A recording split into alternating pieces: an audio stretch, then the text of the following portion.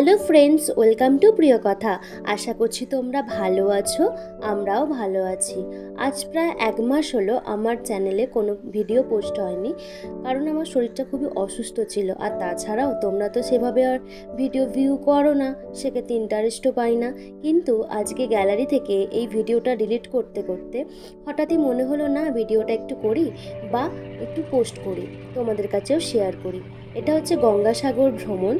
প্রথমে আমরা পিসুমনির বাড়ি থেকে বালি থেকে শিয়ালদা গিয়েছিলাম। শিয়ালদা থেকে নামখানা এক্সপ্রেস ধরে প্রায় তিন ঘণ্টা জার্নি ছিল। তারপর নামখানা থেকে টোটোয় করে জেটিঘাটে গিয়েছিলাম এবং জেটিঘাট থেকে আমরা হচ্ছে প্রায় পঁয়তাল্লিশ মিনিট পরে আমরা গঙ্গাসাগর যে স্টপেজটায় সেটা গিয়েছিলাম, যেখান থেকে তোমার টোটোয় করে আবার মেন স্পটে অর্থাৎ কপিলমণির আশ্রমে এবং গঙ্গাসাগর যেখানে পোর্ট আর কি, সেখানে যাওয়া যাবে। যাবার পথে ওইখানকার প্রাইমারি স্কুল হাই স্কুল অর্থাৎ ওখানে যাবার জন্য বা ওখানে থাকার জন্য যে আবাসালয় থানা, সমস্ত কিছুই আমরা দেখে দেখে যাচ্ছিলাম। আর টোটো যে চালাচ্ছিলেন আর কি, ওই ড্রাইভার খুবই কোঅপারেটিভ ছিল। আমাদের প্রত্যেকটা জিনিস খুব ভালো করে বোঝাচ্ছিল। আর ওখানকার যেহেতু বাসিন্দা ছিলেন, সেক্ষেত্রে ওনার বোঝাতে কোনো অসুবিধা হচ্ছিল না। আর মানে খুব ছোট একটা দ্বীপ মানে ওনার ভাষায় খুব ছোট একটা দ্বীপ, আর সেখানে এত কিছু জিনিস। আর দেখো আমরা অলরেডি পৌঁছে গেছি হচ্ছে কপিলমণির আশ্রমে। সত্যিই চোখ জুড়িয়ে যাচ্ছে। আগে আমরা শুনতাম বাবা মায়ের মুখ থেকে বা বড়দের মুখ থেকে এখানে আসার জন্য কত বেগ পেতে হতো। অর্থাৎ এত দুর্গম পথ ছিল যে কেউ আসার সাহসই পেত না। অনেকে নাকি রাস্তা ভুলও করতো। অর্থাৎ ঠিকঠাক করে বাড়িও পৌঁছতে পারতো না। আর অনেকে নাকি বাড়িও ফেরেনি। এরকমও অনেক খবর শোনা যায়। সত্যি কথা বলতে কি, যখন এই জল স্পর্শ করল মানে স্পর্শ পেলাম আর কি। তখন এতটা সুন্দর লাগছিল তোমাদেরকে জাস্ট বলে বোঝাতে পারব না। আর এখানে আমরা স্নান করতে পারলাম না, কারণ আমাদেরকে আবার রিটার্ন করতে হবে। অলরেডি তখন একটা বেজে গিয়েছিল। যেহেতু আমাদেরকে আবার রিটার্ন করতে হবে, যেটির একটা নির্দিষ্ট টাইম ছিল, সেই টাইমে যেতে হতো, অর্থাৎ সাড়ে তিনটে কি টাইম ছিল। আর এখানে দেখো বোন বলছে, দিদি, আমার একটু ভিডিও করে দাও। চলো তোমার একটু ভিডিও করি, কারণ আমরা তো স্নান করতে পারব না। আর গঙ্গাসাগরে স্নানটা একটা সত্যি ম্যান্ডেটরি ব্যাপার বা ওটা খুবই ভালো। দুর্ভাগ্যবশত আমরা সেটা করতে পারিনি। তো আমিও একটু ভিডিও করে নিয়েছিলাম আর সত্যি খুব ভালো লাগছিল। আমরা দীঘাপুরি তো প্রায়ই যাই, কিন্তু এটা একটা সত্যি একটা অদ্ভুত অনুভূতি। আর যে অনুভূতিটা আমি ভাষায় প্রকাশ করতে পারব না। আর এখানে অনেক অভিজ্ঞতা হয়েছে মানে তোমাদের কাছে সেটাই শেয়ার করছি আর কি। আর এখানে অনেক নাগা সাধুও দেখা গেছে আর আমরা দেখেছি। তো সমস্ত বিষয়টা খুবই মানে এটা ডিসিশানটা নেওয়া যে আমরা এখানে যাব সেটা খুব চটজলদি।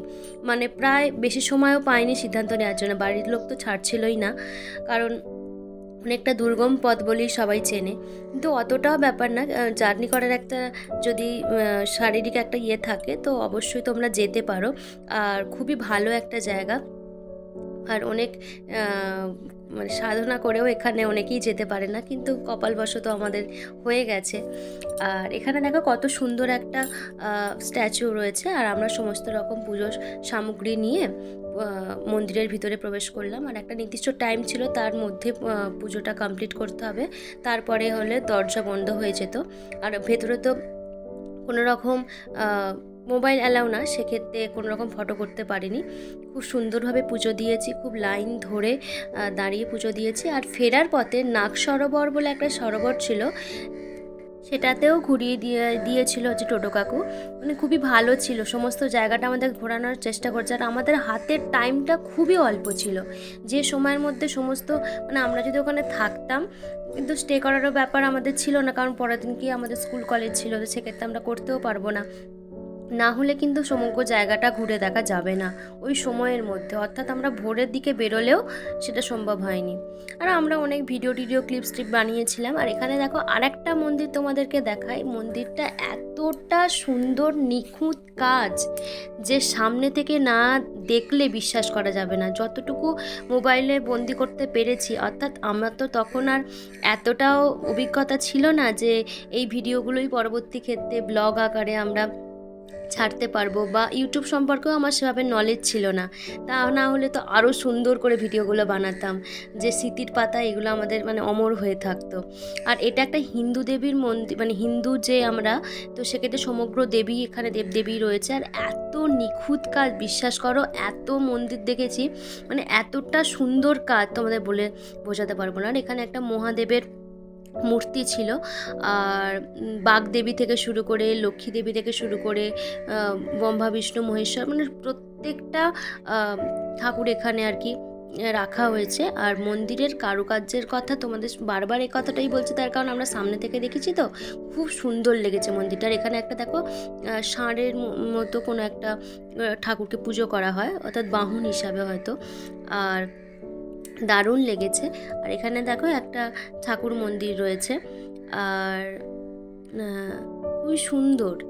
এখানে দেখো সন্তোষী মা রয়েছে দুর্গা মা রয়েছে, তারপর হচ্ছে পুরীর জগন্নাথ দেবের যে মূর্তি মানে জগন্নাথ দেবের মূর্তিও রয়েছে। তারপর এখানে বনও হচ্ছে এখানে। ইয়ে ঘণ্টাধ্বনিটা বাজাচ্ছিল, সেটাও একটু ভিডিও করে নিয়েছিলাম। মানে তখন ছোট ছিলাম মানে সেটাই যে এখন এতটা সুন্দর দেখতে লাগছে, আমি নিজেকে যেন সত্যি ভাবছি কি সেই সময় করেছিলাম বলে দেখতে পাচ্ছি। তোমাদের কাছে এটা বোরিংও লাগতে পারে, কিন্তু আমার কাছে খুবই একটা দারুণ বিষয়। আর যেটা আমি এটা যদি আমি রেখেও দিই, আর ভিডিও করে আমি পরবর্তী ক্ষেত্রেও দেখতে পারব, সেটাও একটা বিষয়। তো তারপর আমরা দেখো যেটি ঘাটে চলে এসেছি। জেটিঘাটে এসে আমরা মানে এতটা আনন্দ করেছি তোমাদের বলে বোঝাতে পারব না।